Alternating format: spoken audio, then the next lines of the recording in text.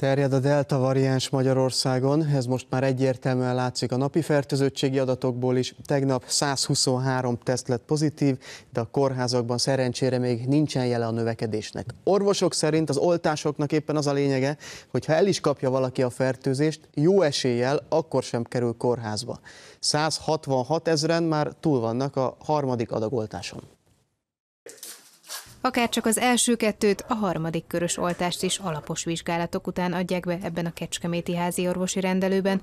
Az ismétlő injekciót most főleg az idősek kérik. Azért döntöttem így, mert 77 éves vagyok, és még hát akarok egy jó pár évig egészségesen élni.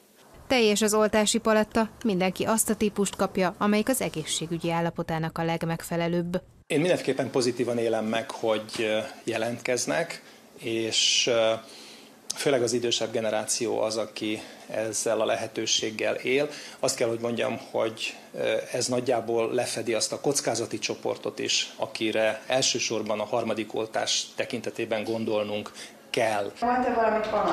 Szinte megállás nélkül oltanak a Pécsi Klinikai Központban is. Itt jellemzően 500 embernek adják be naponta valamelyik vakcinát. Krónikus beteg vagyok, magas vérnyomás, szívműtött voltam, úgyhogy a betegségek, cukorbeteg vagyok, tettes típusú. Van krónikus betegségem, emiatt fontosnak tartom, plusz iskolában dolgozom gyermekekkel, ezért úgy gondolom, hogy kötelességem mindent megtenni, hogy a kicsiket védjem ezzel. A klinikai központ elnöke a híradónak azt mondta, sajnos még mindig vannak olyanok, akik csupán egyetlen dózist adatnak be, az ismétlő injekciót már nem, így pedig nem tud kialakulni a megfelelő védelem. Sokan elfelejtik a második oltást, vagy nem veszik fel a második oltást. Ez is egy kockázatot jelent, hisz a teljes védettség csak a második oltás ismeretében, birtokában fog kialakulni.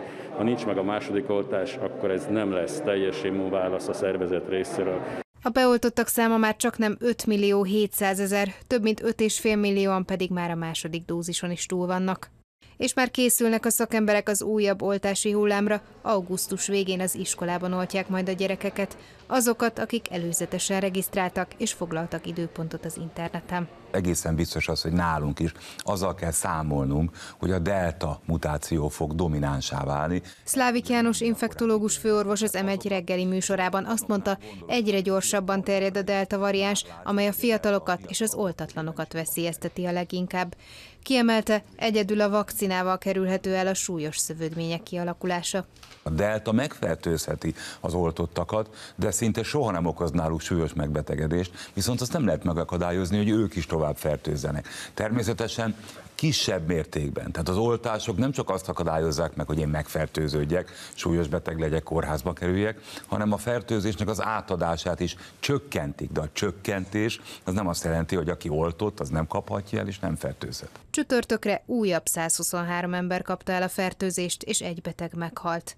Alig 11 ezeren betegek most, közülük 76-an vannak kórházban, 11-en szorulnak gépi lélegeztetésre.